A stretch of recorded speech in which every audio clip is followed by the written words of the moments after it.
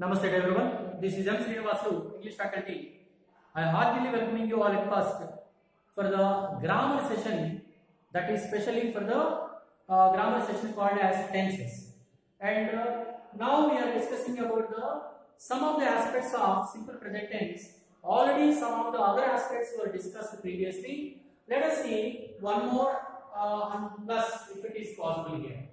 And uh, simple present tense, we already have seen its structure is subject, verb one, and object. However, uh, it is the fifth one we are talking about, which is uh, one of the part of the simple present tense. Simple present tense deals with the historical present. So let me first tell you what is called historical present. Anything that is being experienced by you in the past that is under called history, right?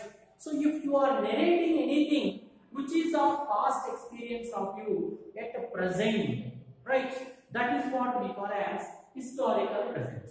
That means what? Any past experience now you are narrating to someone else with your own words that comes under called as historical present.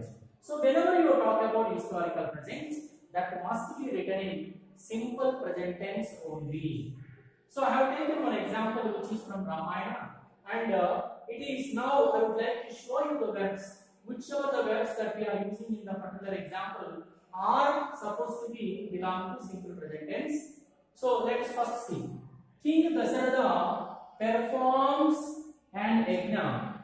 A divine personality appears and gives and gives him a bowl of sweets. He distributes it among his three wives. They give birth to Rama, Lakshmana, Bharata, Shatrugna. If you can see the example once again, King Dasarada performs, that means subject is singular, so that's why we have to singular verb here. An a divine personality appears, maybe in our uh, old tradition, it is believed that uh, a divine personality appears when you do yajna or yaga, or something like that. So he gives him a bowl of sweet and he tells him to distribute among his three wives.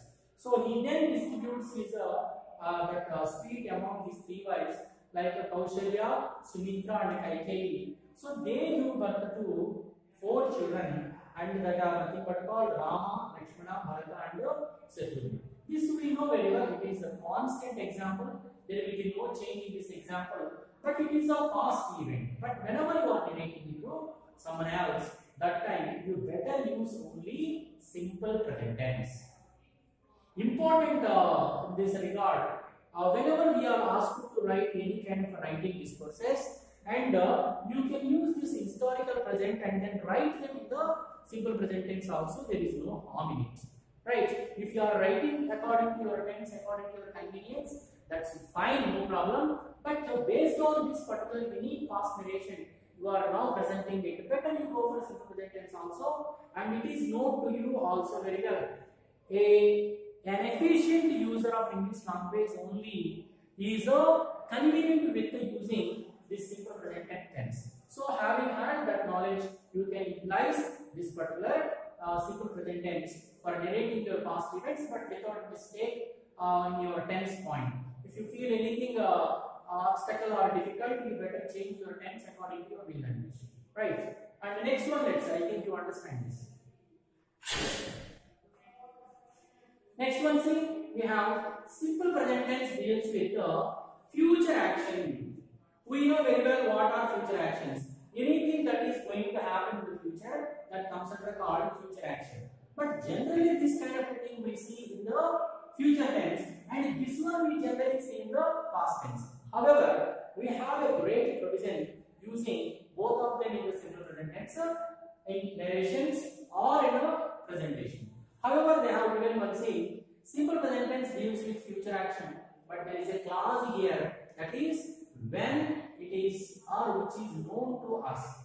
Before you know anything that is happening in the future, now. So that particular action you can write in the simple present tense.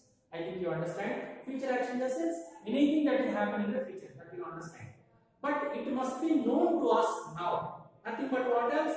There are some fixed programs whenever you talk about some fixed programs of future, that particular fixed programs you can discuss in the simple present tense tense. That's what the point here.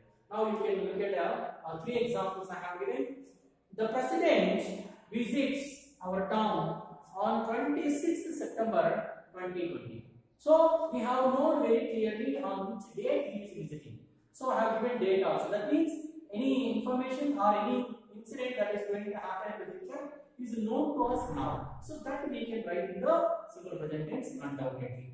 Coming to the second one is Prabhas plans his tour to RTPP 2nd October 2020. In this regard also, his plan was already earlier done. So it is also known to us very clearly. In this regard also we can write this one in the simple present tense. And coming to the last example, my sister gets married on 10th of this month. For example, if I write. So this is also known to us very well. All the echo examples given are, are fixed programs. So anything that is happening in the future that is known to us now, you can write that one in the simple present tense tense. Understand my children? And this is of uh, past event you can narrate and present in your simple present tense. And even this is a future action. Uh, maybe it is fixed program. It is known to us before. That also you can write in the simple present tense. There are two more elements are there in the particular simple present tense to discuss that we will see in the next uh, upcoming uh, session. You please make them everything in your notebook and practice them one or two times so that it will be not difficult in uh, understanding the whole theme of it. Thank you very much children. We'll meet in the next session. Thank you.